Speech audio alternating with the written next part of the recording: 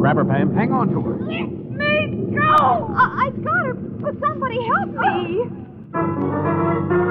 Mr. and Mrs. North, starring Richard Denning and Barbara Britton. Listen as Pam and Jerry solve the mystery Death is Forever.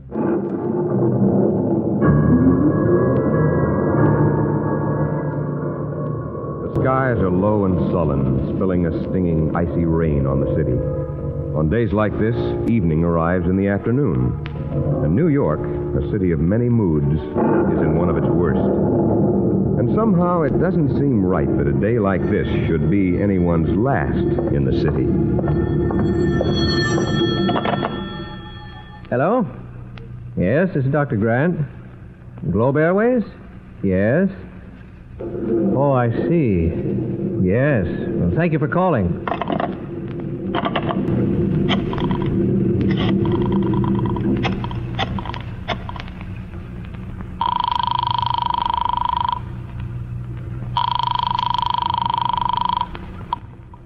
Dr. Thorne speaking. Oh, Dave, this is Tom. Oh, Tom, my boy. Where are you calling from? Uh, my apartment. Is Susan there? Left just a few minutes ago.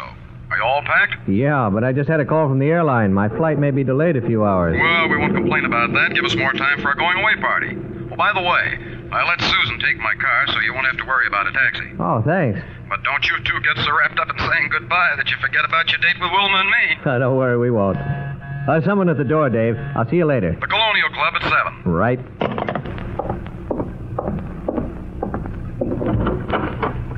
Hello, Tom. Wilma. May I come in? Well, yeah, of course. Thank you.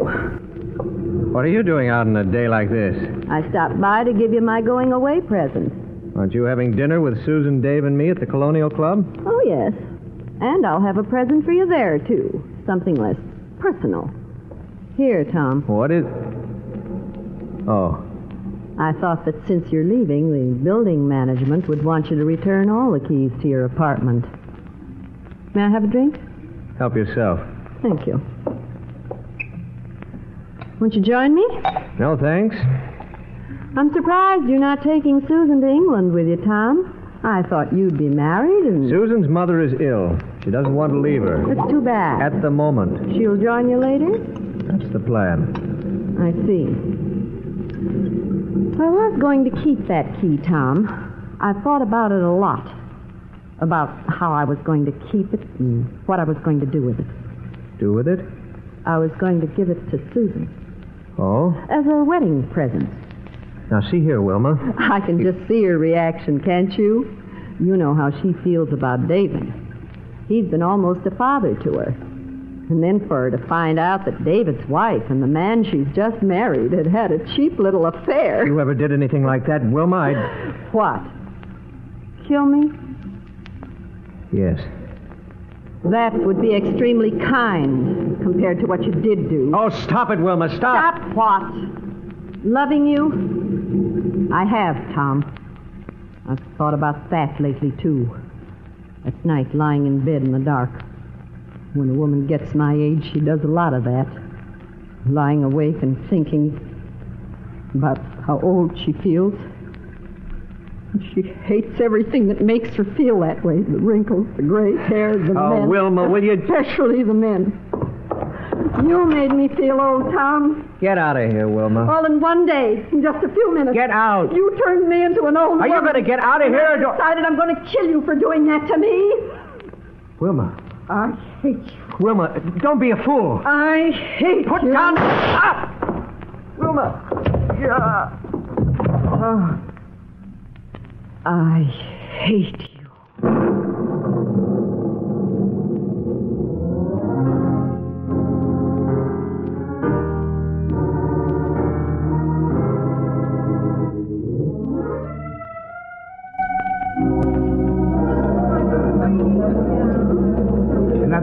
Another Mr. North? North? No, no thanks, Walter. Uh, you're keeping an eye out for Mrs. North. Yes, sir. Well, I'll wait until she comes. Jerry! Jerry North. Well, for...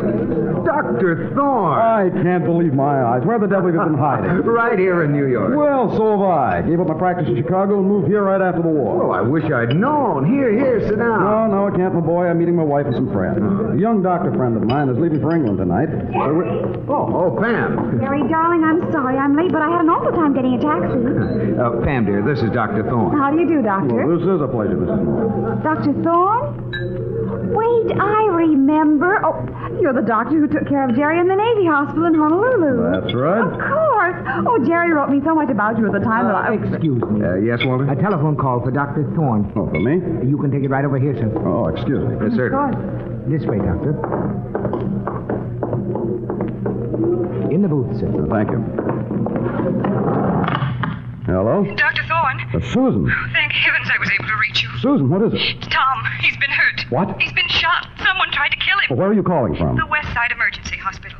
I found him in his apartment unconscious. I called an ambulance. I'll get there as quickly as I can, Oh, Susan. hurry, doctor, please. Yes, Susan, yes.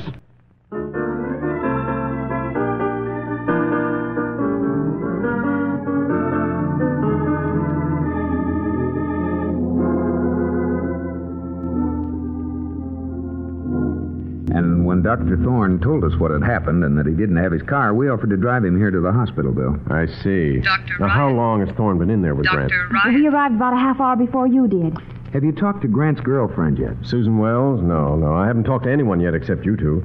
And after she telephoned Thorne, Miss Wells collapsed, was given a sedative, and taken home. Oh, here's Dr. Thorne now. Oh. Oh, uh, Dr. Thorne, I'm Lieutenant Weigand, homicide. How's Dr. Grant? Well, this isn't a case for your department yet, Lieutenant, but his condition is very critical. I'm having him prepared for immediate surgery. What are his chances? Very slight, I'm afraid. Has he regained consciousness at all? No. I see. Well, I won't bother you with any more Ryan. questions now, Doctor, but if you. Oh, Wilma, you got my message? Yes. How is Tom? Not good.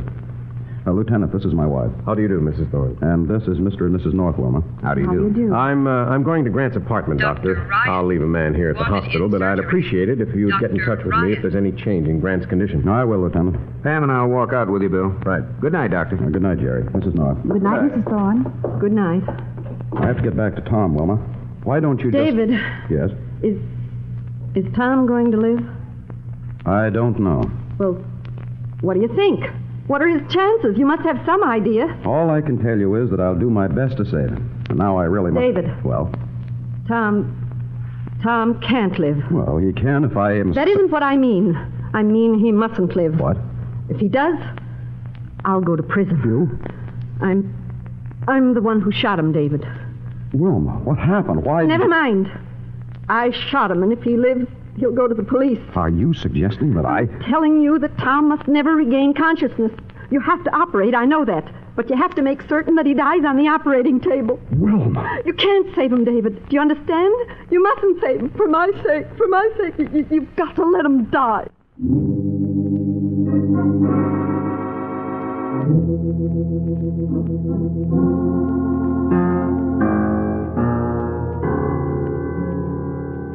Let him die? Yes, Do you know what you're asking? yes. You're out of your mind. David, listen to me. You must. Stop it. David. Stop! Now, what is all this? What happened? Why... Why would you want to kill Tom? I. Answer me. We were. We were in love. In love. At least I was with him. You and... and Tom. And I thought he loved me. I met him secretly for a few months at his apartment. But then. Then he told me he didn't want to see me anymore. That he was in love with Susan. That he'd asked her to marry him. I tried to forget him, but I couldn't. David, please. D- don't look at me like that. Try to understand. Understand? What he meant to me. What any young man would mean to a woman like like me. I didn't want to get old. You know that. I've told you. You laughed at me and thought I was just joking or being silly, but I wasn't. I meant it. And that's why when Tom started paying me some attention, I. Oh, David. You're a rotten little... No, David. Don't say that. I, I, I'll make it up to you. I was a fool. I know that. But Tom was as much to blame as I. And if he dies, no one will blame you. You could say you tried to save him. You operated. You tried. I ought to. Dr. Thorne, Yes, we're ready for you. coming.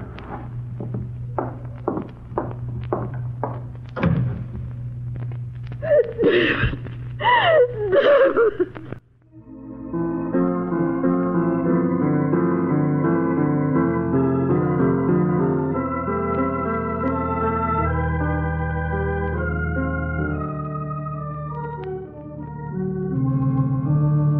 answer it, dear. Hi, Jerry.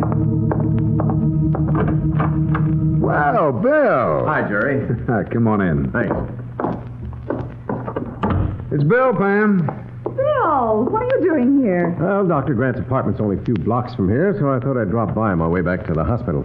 Any news about Grant's condition? No, not yet. Would you care for a cup of coffee, Bill? Oh, no, thanks, Pam. I have to run along in a minute. But I just stopped by to see what you could tell me about Dr. Thorne and his wife. Hmm. I'm afraid we can't tell you a thing, Bill. We met Mrs. Thorne just tonight. I know. But you knew the doctor in the Navy, didn't you, Jerry? Yeah, slightly. Just while I was in the hospital. Uh-huh. Well, how about Dr. Grant? Do you know him? No. Yeah, then I guess you can't tell me what I want to know. What's that, Bill? I found this in Grant's apartment. A note. Mm-hmm. Read it. Darling, I must see you tonight. W. W. Yeah. And Mrs. Thorne's first name is Wilma. Yeah.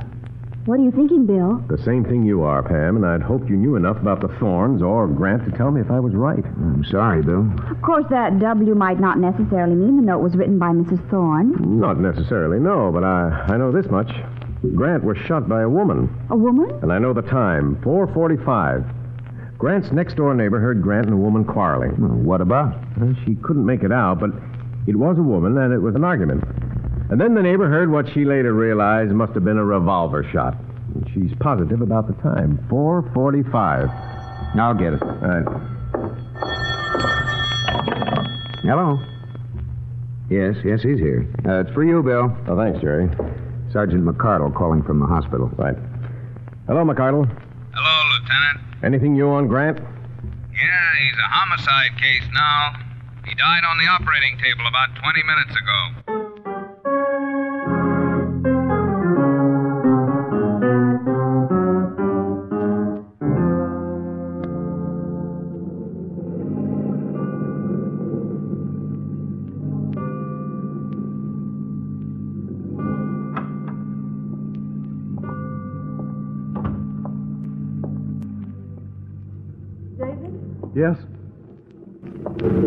I didn't expect you home. And I didn't know whether I'd find you here, but I wanted to see you. Why? Tom's dead.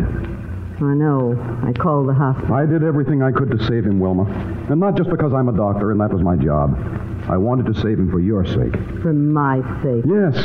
I hoped I might at least keep you out of the electric chair. If you'd have, have wanted to help me, you'd have. You should have known that I wouldn't do what you asked. Yes, I suppose I should have. I was a fool, but I was afraid.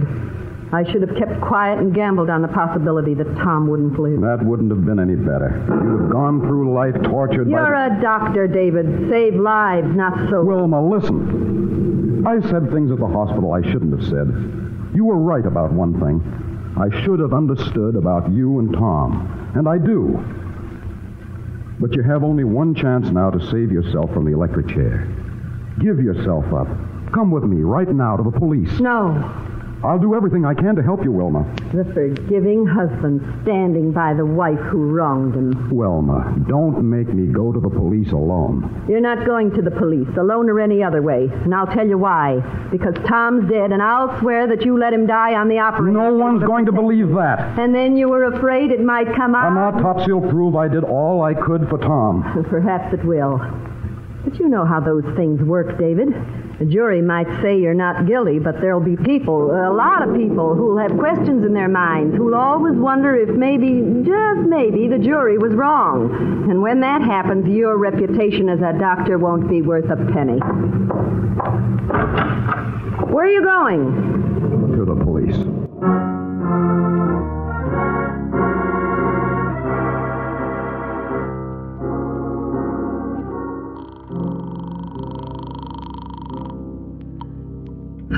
Uh, Mrs. Thorne, this is Lieutenant Weigand. Is Dr. Thorne there? David? Why, no. Well, do you have any idea where he is? No. Is something wrong, Lieutenant? He called me and said he wanted to see me. Now, that was about two hours ago, and he hasn't shown up.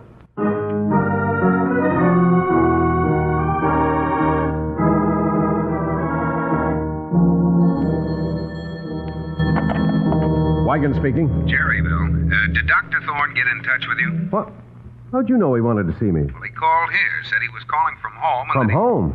Yeah. He said he. Now, look, Jerry, you and Pam get down here to my office right away. Okay, Bill, but what's. Never mind what. Just get down here.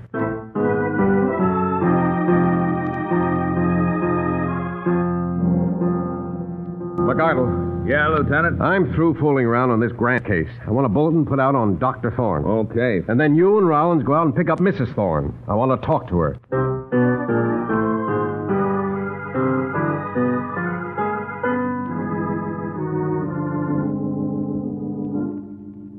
And what time was it that Dr. Thorne called you, Jerry? Oh, about uh, 10 o'clock, I think, wasn't it, Pam? Yes.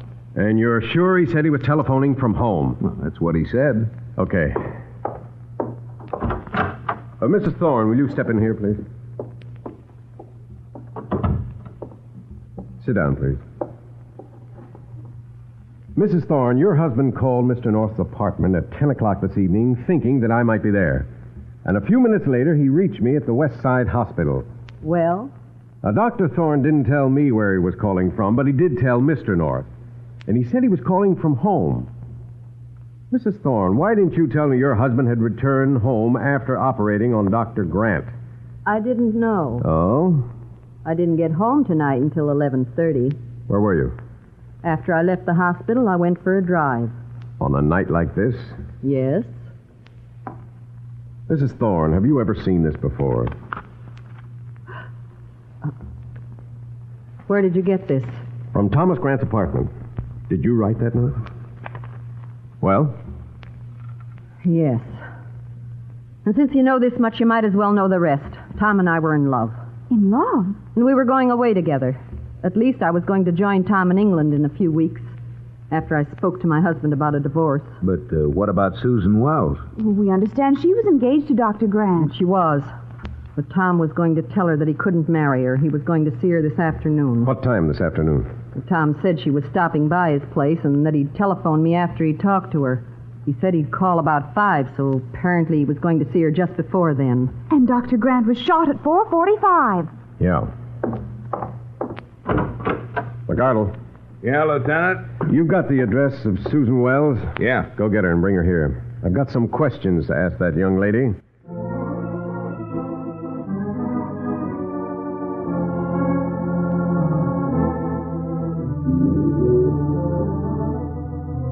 But, but this is fantastic. I...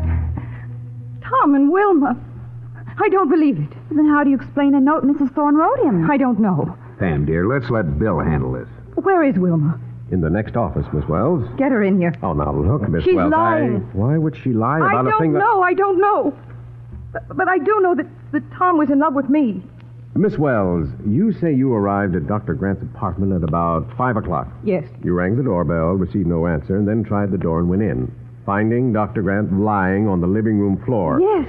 Can you substantiate the fact that you didn't arrive at the apartment earlier than five? Why should I have to? Because we know it was a woman who shot Dr. Grant, A woman. with whom he quarreled, and we know that Grant was shot at 4:45. And you think that I. I think it's possible that you were the woman in Grant's apartment. No. That Grant told you he was breaking his engagement to you, that's not and in the heat of the argument, you shot him. I didn't. I didn't. Then where were you at 4:45, Miss Wells? I was on my way to Tom's apartment. I had Dr. Thorne's card. Wait. Wait, I can prove that I wasn't at Tom's at 445. Well, how, Miss Wells? Dr. Thorne can tell you. He knows that I didn't leave the office until 4.30. I couldn't have been at Tom's because it takes at least 20 minutes to drive from the office to his apartment. Ask Dr. Thorne. We will when we find him, but. Excuse me. Weigand speaking. Oh, yes, Harrison. What? Where? Yes, I see. Yes, all right. Well, what is it, Bill? Miss Wells, Is there anyone else who knows that you didn't leave Dr. Thorne's office until after 4.30? No. Oh, it's too bad. But Dr. Thorne can tell you. No, he can't, Miss Wells. He's dead. Dead? He's been killed in an automobile accident.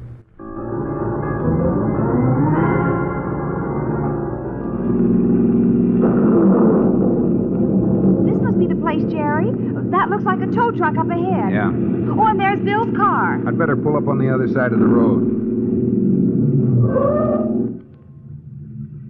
Pam, why don't you and Mrs. Thorne wait here in the car while I find out what's going on? May I come? Wait here, Mrs. Thorne. I'll be back in a minute. Bill! Jerry! Hey, what are you doing here? Well, after you left headquarters, uh, Mrs. Thorne insisted on coming out here, so we brought her. Hey, what happened to Thorne, Bill? Come over here.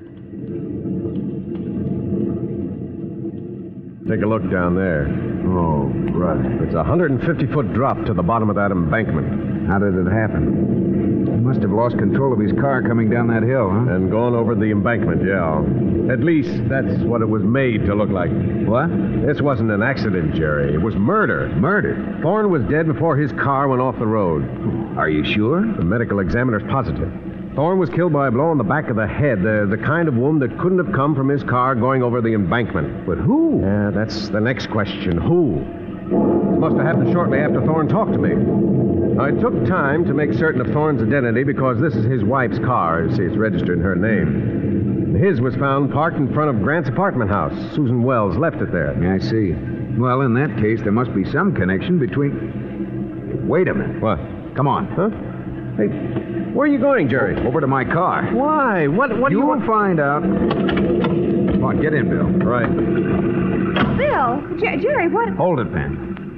There's your murderer, Bill. Murderer? In the back seat with Pam. Oh, no. Wait a minute, Jerry. You can't. talking about? Yes. The lie you told in Lieutenant Weigand's office, Mrs. Thorne. Lie? I don't know what you mean. You said you were out driving tonight, Mrs. Thorne, and didn't get home until 11.30, after your husband had left the house to go see Lieutenant Wagon. That's true. No, it isn't, Mrs. Thorne. Jerry, what is this all about? no, wait, wait, wait a minute. I see what you're getting at, Jerry. Well, I don't. Uh, I Now, re- Thorne couldn't have been in his wife's car if she hadn't seen him this evening. But what Right. difference does... No. And you'd have no reason to say you hadn't seen him unless you'd killed him. Dr. Grant? Dr. Thorne. Why'd you do it, Mrs. Thorne? I didn't. I didn't kill him. Watch it, Bill. Grab her, Pam. Grab her. Get her. Let go. Hang on to her, Pam. Let go. Let go. Me. Wait a minute, I got her. I got her. Oh, now relax, Mrs. Thorne. Just relax. Ah, good work, Pam. Well, thanks, Bill, but... Well, will one of you please tell me what this is all about?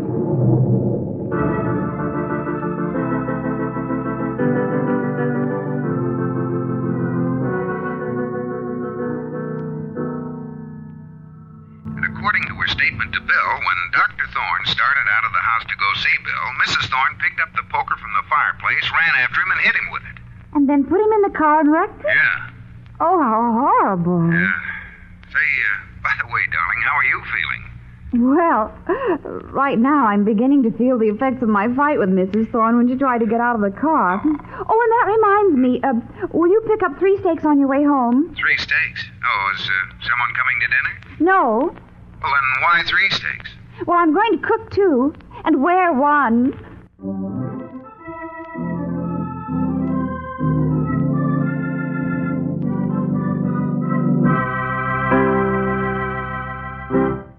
Pam and Jerry are sure to have more exciting adventures next week. Listen in, won't you? There's always mystery well sprinkled with humor on Mr. and Mrs. North.